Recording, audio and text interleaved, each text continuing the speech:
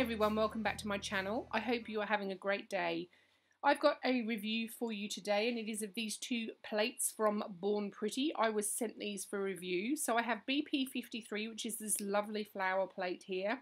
It's very nice. It's got a backing on it with their website address and the store name. The edges aren't too sharp and it's quite well made so I'm impressed with this. And the next one is BPL020 and it comes in this lovely little packet which I'm sure if you are familiar with stamping it will remind you of the MoYou London plates. On the back it's got their website address and their Instagram and it also says that there's free shipping. So I'm going to have a look at this one now. Now there are 14 large Im images on this plate and 1, 2, 3, 4, 5, 6, 7 smaller images down the bottom. So I'm going to remove the film and I'm going to stamp. Now keep an eye out for these stamping polishes guys because I'm going to have some really exciting news coming up soon. All I'll say is this is a little sneak preview of the stamping polishes so if you like what you see stay tuned to my channel.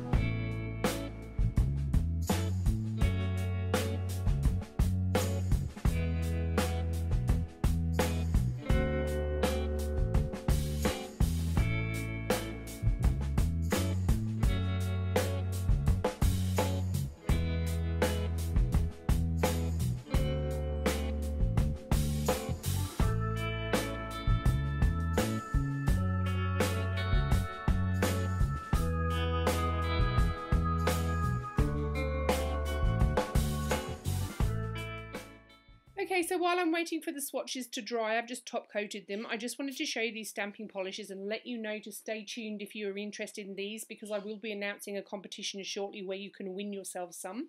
So stay tuned to my channel for that. And now we have the swatches. This is the larger plate, the BPL020, and they are amazing. I'm really impressed with these. They're crisp, but they stamp really well. And this is the smaller plate, the BP53. And again, really crisp, really clear, and I'm super impressed on how these stamp.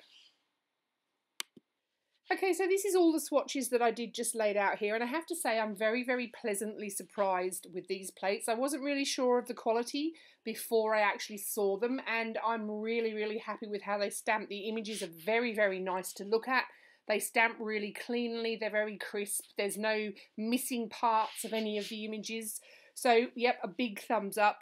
I'm really impressed, so I will have some more and I will be doing some tutorials with these plates, so stay tuned. And guys, if you like the video, please give me a thumbs up. If you've got any questions or comments for me, pop them in the comments box and I'll get back to you. I'll pop all of the product information along with my discount code in the description bar. And if you haven't subscribed to my channel, guys, please do. I've got lots and lots of stuff coming up, lots of stamping videos. I've got an actual stamper video that will be the next one up, and I'll link my stamping playlist below. So that's it from me, guys. I hope you liked the video, and I will catch you in the next one. Bye.